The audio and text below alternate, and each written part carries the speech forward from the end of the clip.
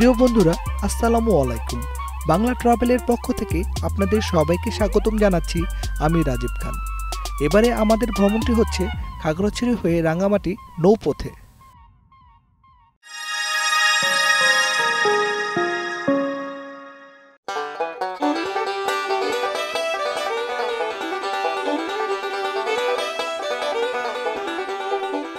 Dear viewers আমরা এখন আছি লংগদু ঘাটে লংগদু হচ্ছে রাঙামাটি জেলার একটি থানা।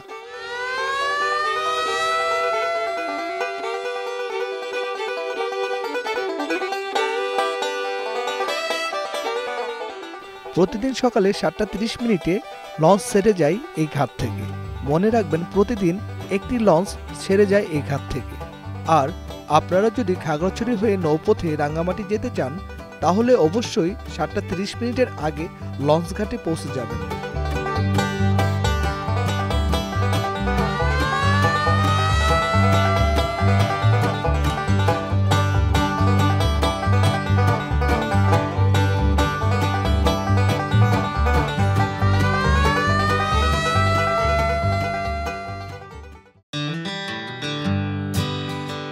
পাহাড়ের দেশ পার্বত্য চট্টগ্রাম। বান্দরবন রাঙ্গামাটি খাগড়াছড়ি এই তিন জেলা নিয়েই পার্বত্য চট্টগ্রাম। খাগড়াছড়ি আর রাঙ্গামাটি লাগোয়া জেলা। পাশাপাশি দু জেলার অবস্থান। ব্যবধান শুধু একদিকে পাহাড়, অন্যদিকে কাপ্তাই লেগের বিশাল জলধারা।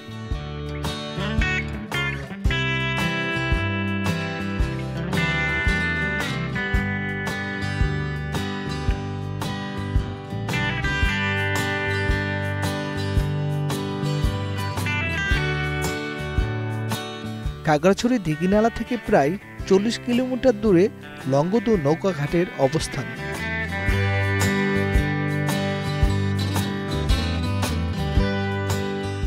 দিঘিনালা থেকে আপনারা ইচ্ছে করলে বাইকে অথবা সিএনজি করেও লঙ্গদু ঘাটে আসতে পারেন। সিএনজিতে ভাড়া পড়বে দুইশো থেকে আড়াইশো টাকা আর বাইকে পড়বে একশো থেকে দেড়শো টাকার ভিতরে।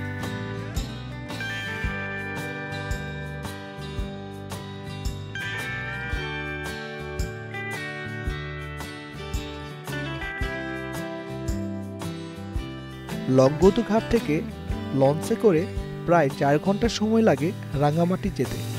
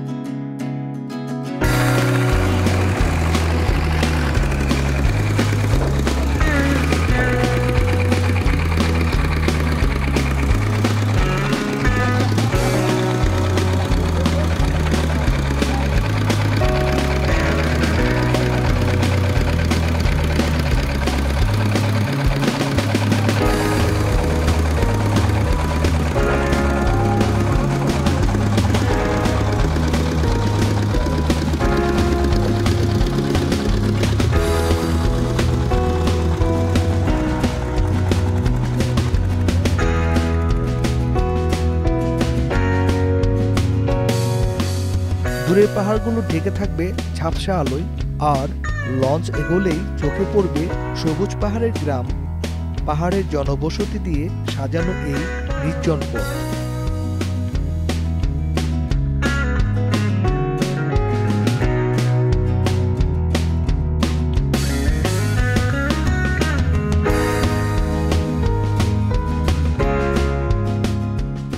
লেক জুড়ে দেখা মিলবে মাছ ধরার নৌকা অস্থায়ী বসতি।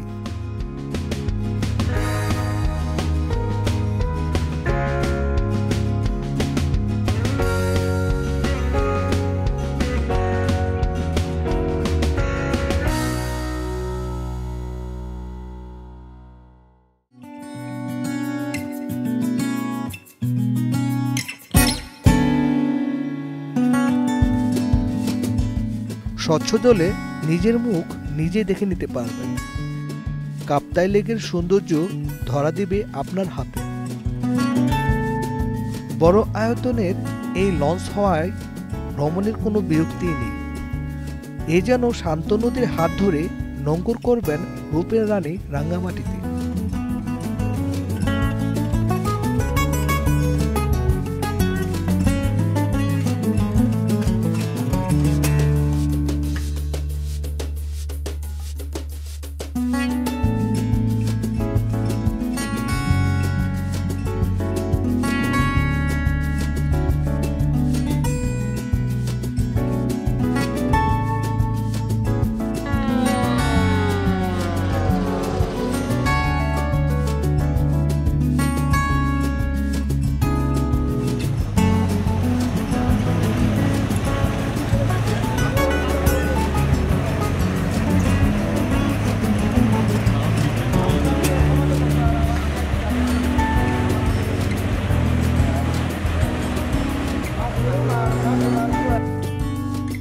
কাপ্তাই লেকের সৌন্দর্য ধরা দেবে আপনার হাতে।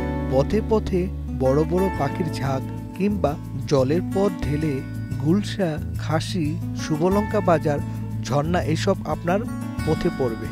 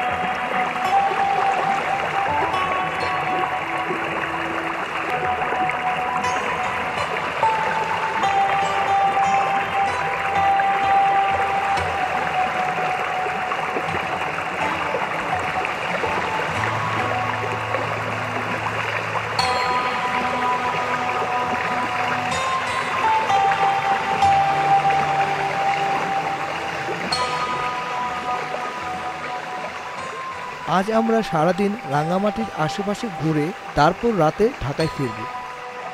বন্ধুরা, আপনারা যারা আমার এই চ্যানেলটি সাবস্ক্রাইব করেছেন, তাদেরকে আমার মনের অন্তঃস্থল থেকে অনেক অনেক ধন্যবাদ জানাচ্ছি।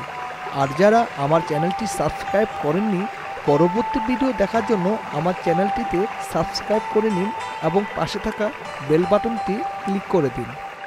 খুদা হাফেজ।